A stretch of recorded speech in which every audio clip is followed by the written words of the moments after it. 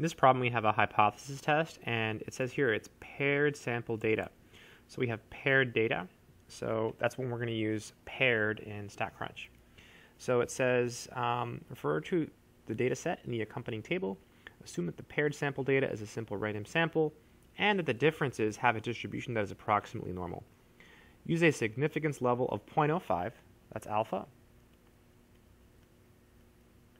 to test for a difference between the weights of discarded paper and weights of discarded plastic. Okay, so the first step is to set up the null and alternate hypotheses. So the null hypothesis is always mu sub d equals 0. Always, whenever it's paired. And it says test for a difference. Whenever you see that, it's just always not equal to. Okay, always. Whenever it says test for a difference, is there a difference? It's always not equal to. If we click on this, you can see.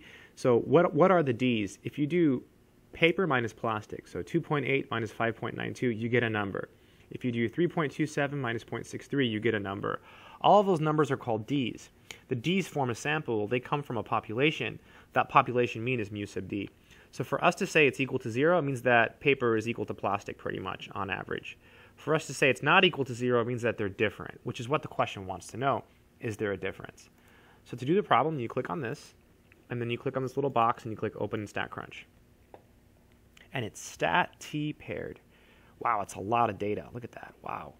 So stat T paired. Okay. Be really careful here when you're picking the data. So it says sample one. It's not household, right? Household is the name, is the number. It's the house you're sampling or surveying. It's paper, plastic, right? So don't don't pick household. Very easy to mess up. So paper, plastic.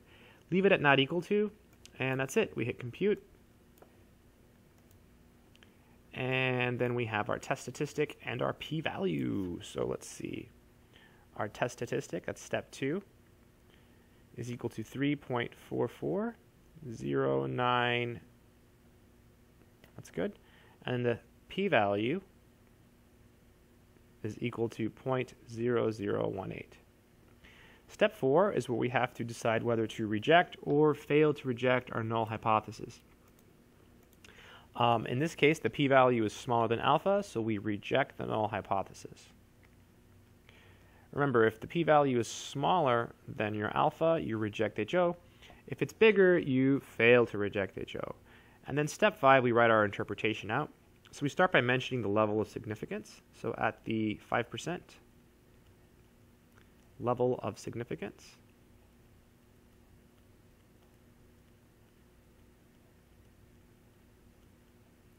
And whenever you reject H sub 0, there is sufficient evidence. So there is sufficient evidence to claim that. And then I guess the question is uh, the, the last question was the last sentence was there is a difference, right? So test for a difference between the weights of discarded paper. I'll just say that there is a difference, that there is a difference. Right, if we reject this, then there is enough evidence to say that the weights are different. So there is a difference. So let's go ahead and answer the question. So it's D for the first one.